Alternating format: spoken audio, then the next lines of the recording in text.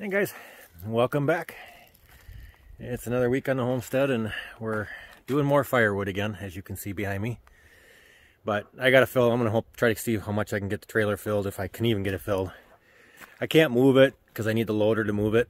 Um, but the loader's kind of out of commission until I can figure out where my hydraulic leak is. So I figured I'll run through a cycle of batteries today. Um, we took yesterday was a full day at home, but we took it off to do some project planning and some discussions and just kind of come up with a, a, budget for how we want, for things that we want to get done and what's on our agenda for the for the next uh, year to year or so and kind of get everything laid out, an idea what everything's going to cost us so that we can start planning accordingly and so we can start tackling these projects as uh, as money comes in. So, but for today I'm going to do some firewood and then once I'm done with the firewood, I'm going to try to see if I can get that loader up on some logs just so I can get underneath it and drop the belly pan. And uh, that's kind of the plan for this weekend and probably do oil changes on the vehicles today.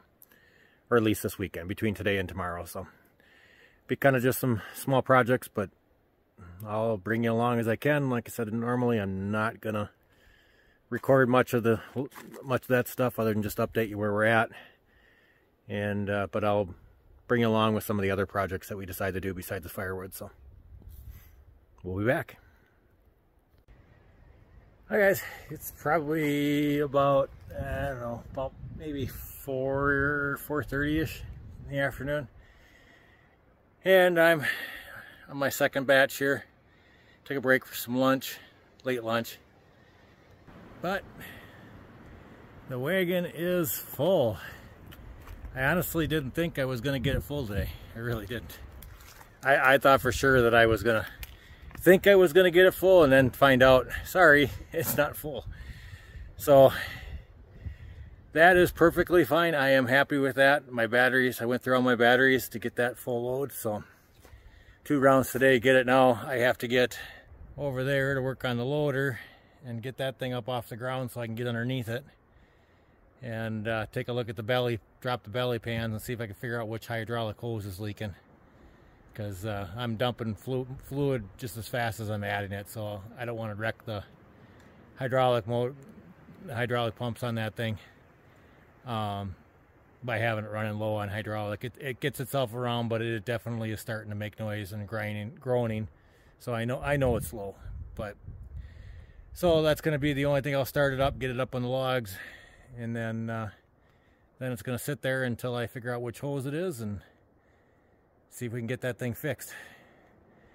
But I don't know if I'm going to do that today. My back is pretty tired, so I think I'm going to rest tonight instead. I got, there's still some logs down there. I got a couple nice sized logs. There's like four yet over here.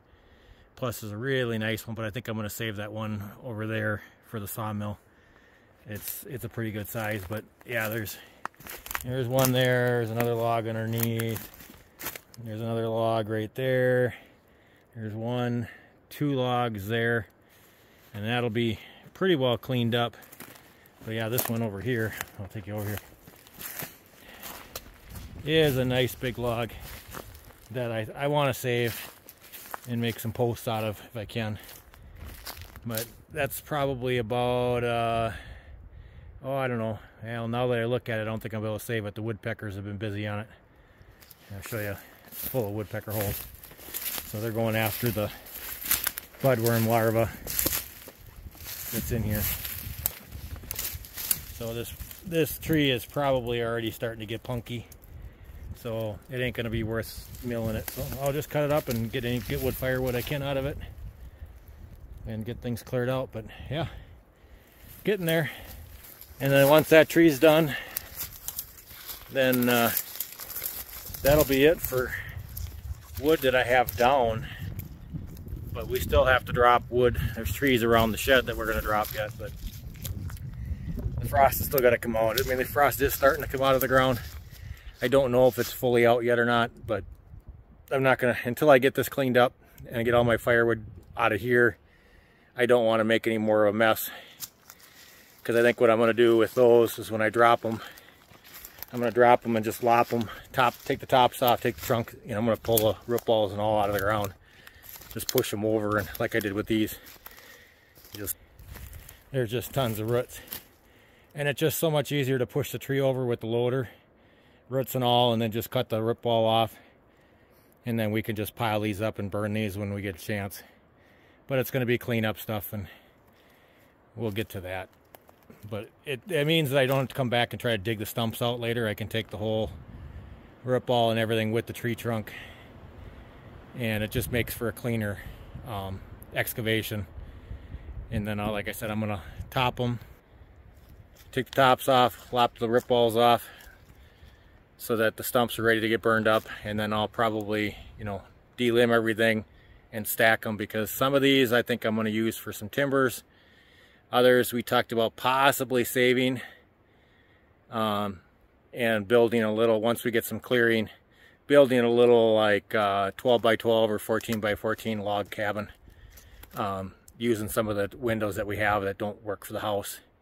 And something like that put a door in it window in it that type of thing. So that's what we're thinking at least um, just be a dry cabin um, place to sleep place to a little wood stove maybe just places for somebody to stay if the kids come up and visit and they want to have their own little private space but we're thinking about that because that doesn't cost us much to do and if we got the logs for it and we got the firewood all put up then that's what we'll use those logs for. If we still need firewood then we'll cut those logs up for firewood instead. So firewood is going to be our priority this year first and foremost get that done in as much as we can and then squeeze in projects while we're charging up the batteries so if I do anything more tonight I'll bring you along otherwise we'll see you tomorrow Welcome back to another day. We're out working on some more firewood. I actually restocked, or restacked, I should say, trailer to kind of get more of a height out of the back so it didn't fall out, which freed up this whole corner. You know, this corner needs to be stacked, but I did some kindling. I took some really short stuff and got some other stuff in here that's dry to go in the house, but this whole front part is all kindling. Just because we're in that time of year now where we light a fire at night and then that's all we heat. You know, it's been cold during the day this week.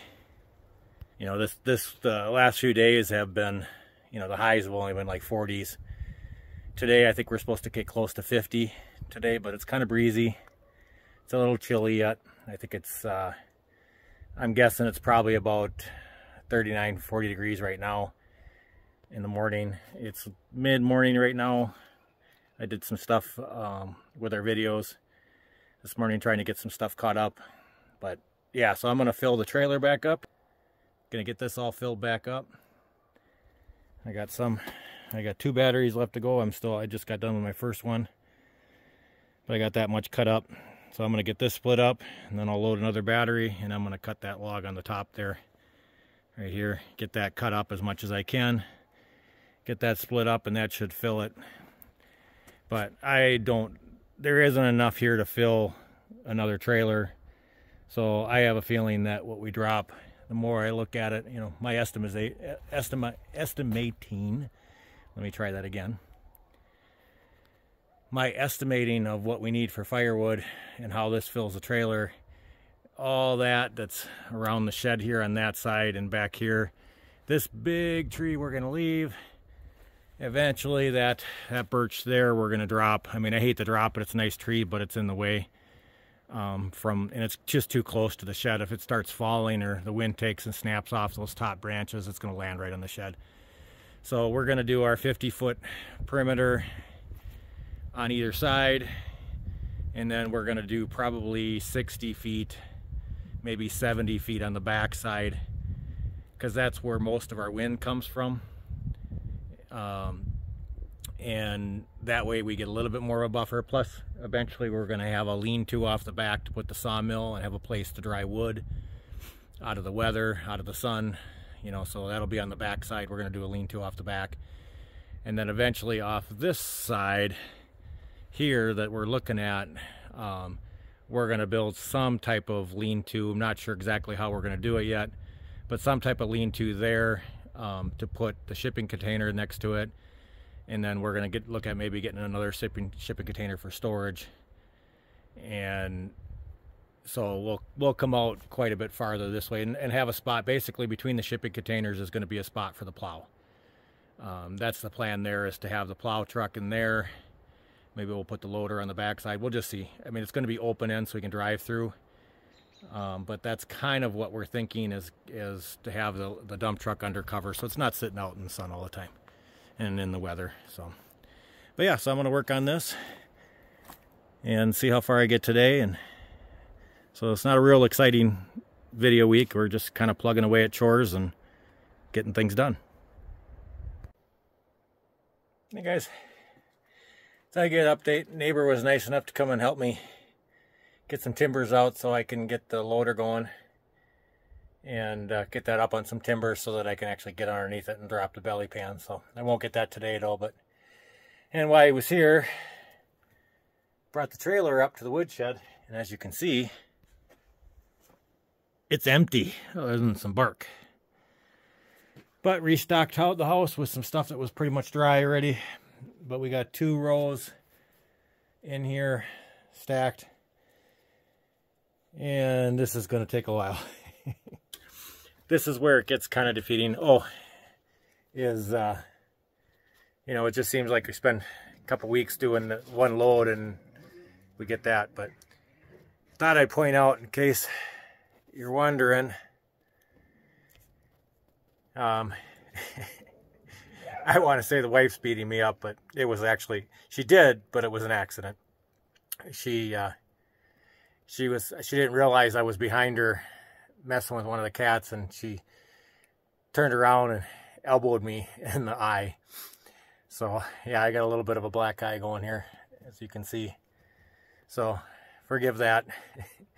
But you got to laugh at it. You know, it is what it is. I just say, well, she's beating me up. But not intentionally, of course. That was purely accidental. But I got to find humor in it. That's kind of what we're doing.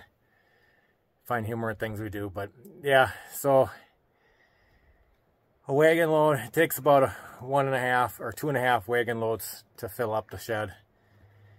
So I always said two to three. I figured three if I'm lucky, but you know, that's only one and say three, six, seven, I figure I got seven more loads and that was a lot of wood that I dropped to begin with. So it's going to take a lot more wood than what I anticipated for to get this filled up again.